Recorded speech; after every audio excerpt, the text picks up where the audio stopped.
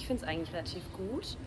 Ähm, vor allem bei so Krankheiten, wo man sich zum Beispiel auch vorbereiten muss. Also weiß ich nicht, zum Beispiel Trisomie 21, dadurch, dass es dir finanziert wird und dass du Bescheid weißt, einfach auch auf Situationen vorbereiten kannst, die man so nicht erwartet.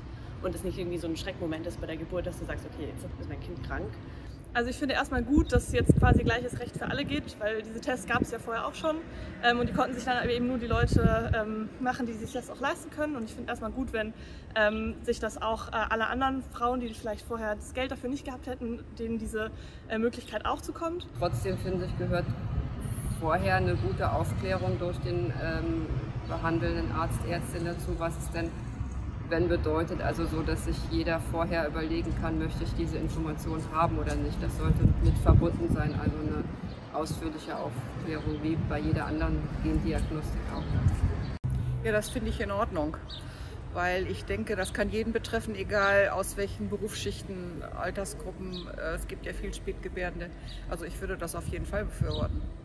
Ich würde sagen, dass es ähm, so ist, dass, dass die Frau selber entscheiden sollte. Gerade wenn die Frau schon etwas älter ist, ist ja auch die Wahrscheinlichkeit höher, dass äh, Isometrie kommen könnte. Ich finde es gut, dass es übernommen wird, aber ich würde auch alle respektieren, die sagen, ich möchte das nicht machen. Jeder sollte selbst entscheiden, ob er dieses Angebot annimmt. Ich persönlich würde es annehmen. Ich finde, wir sollten uns dafür einsetzen, dass Frauen selbstverantwortete Entscheidungen treffen können, dass ähm, Behinderte besser inkludiert werden in unsere Gesellschaft und insgesamt finde ich aber die Einführung dieser Kassenleistung richtig. Ich vermute mal, wenn das jetzt gerade, ähm, also wenn das so sehr, sehr hürdenlos vonstatten gehen kann mit diesem Test und wenn es dann noch gerade bei jüngeren Frauen ein falsch positives Ergebnis gibt in gehäufter Form, dann finde ich das doch sehr,